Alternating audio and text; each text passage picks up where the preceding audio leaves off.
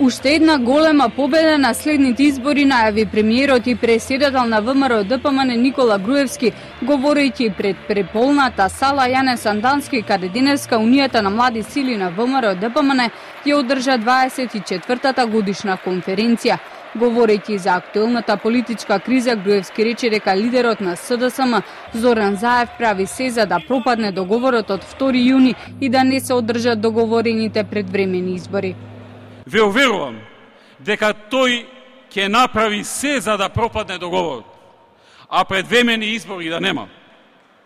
Не го интересира ни измени на законот за избори, ни странски наблюдувачи, ни пречистување на гласачкиот список, ни ништо.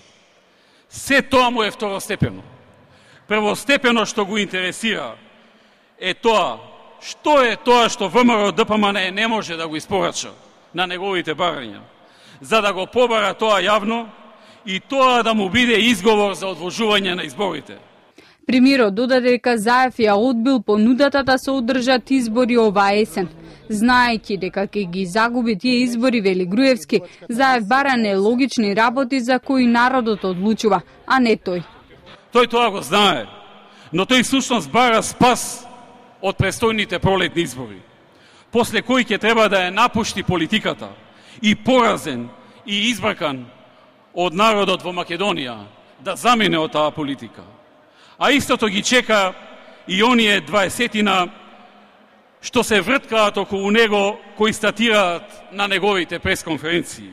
Груевски испрети уште една порака до Заев, повикувајќи го ако има доблест да се повлече од функцијата градоначалник на општина Струмица поради снимката на која Заев, како што се тврди, бара мито од струмички бизнисмен.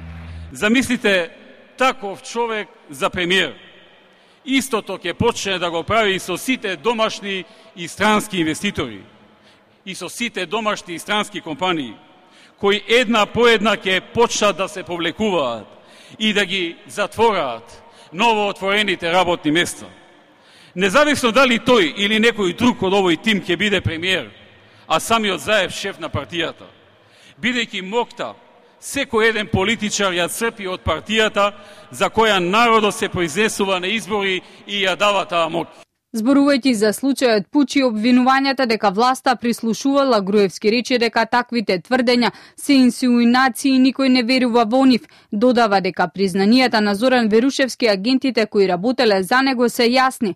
Двајцата вработени во МВР признаа дека нарачките за нелегално снимање ги добивале токму од Верушевски, а не од некој од власта.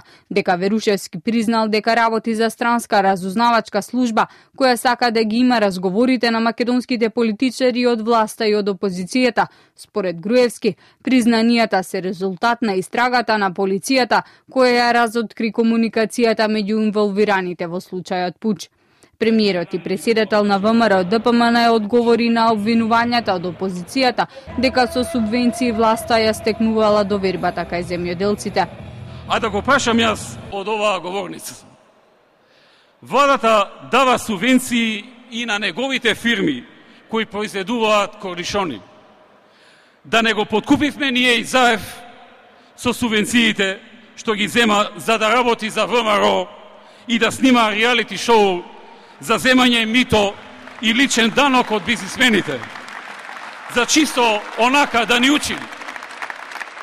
И онака самиот изјави дека богатството го направил во времето на владењето на ВМРО да ДПМН.